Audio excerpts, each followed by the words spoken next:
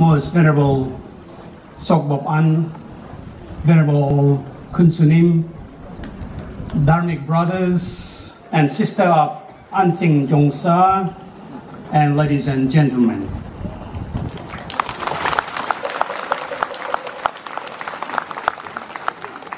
It gives me a great pleasure to extend heartfelt congratulations to the most venerable Seok Boeb Ahn and Ansimjeongsa community for the consecration and ceremony of opening the eyes of the Kshitigarbha Bodhisattva at this holy ground of Ansimjeongsa. Of course, we all know who is Kshitigarbha Bodhisattva or Chichang Bosal. What is his role and how he is important to us? Although it is said to be the Mahayana Buddhist icon, I would say it is a manifestation of the great teachings of the Buddha in general. The function of Mahayanic Kshitigarbha Bodhisattva also can be found in Theravada.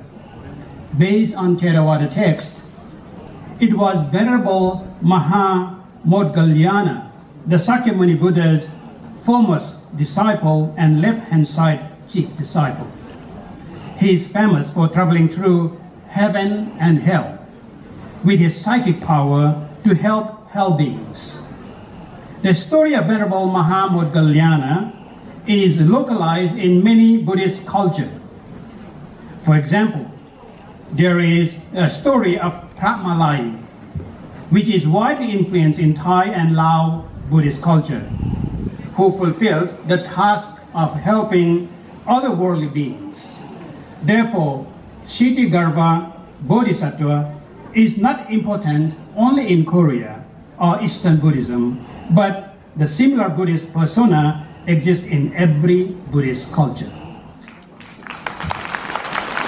In devotion, we might have certain otherworldly helpful persona like Kshitigarbha Bodhisattva in all Buddhist countries.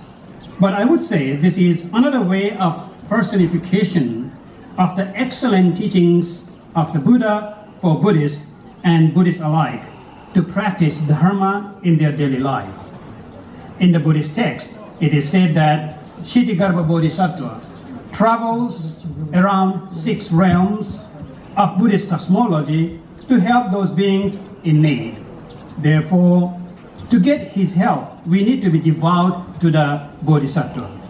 But the six realms of the Buddhist cosmology also can be understood as the six realms of human mind. We, as a human, can transform ourselves anytime to be a hell being, a hungry ghost, a demon, a human, a divine, a noble being.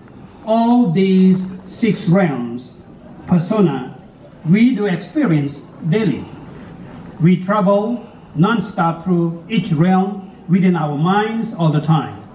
It is our choice which persona we would like to manifest at what circumstances.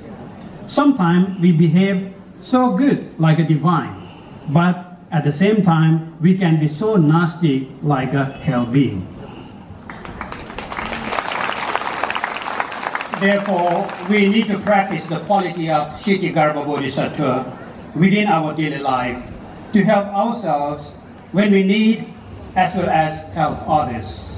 In other words, in other words, we need to be we need to bring quality of Kshitigarbha Bodhisattva alive in our minds. Moreover, the Kshitigarbha Bodhisattva could etymologically means balancing one's root. The root of our action, root of our speech, root of our thought.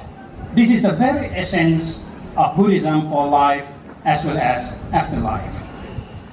May the heart of the Kshitigarbha Bodhisattva take its root in every single being so that everyone can help each other who is in need to get rid of suffering and experience the ultimate happiness. May the Kshitigarbha Bodhisattva statue at Ansimjeongsa be a reminder, reflection, and refuge of all beings in need.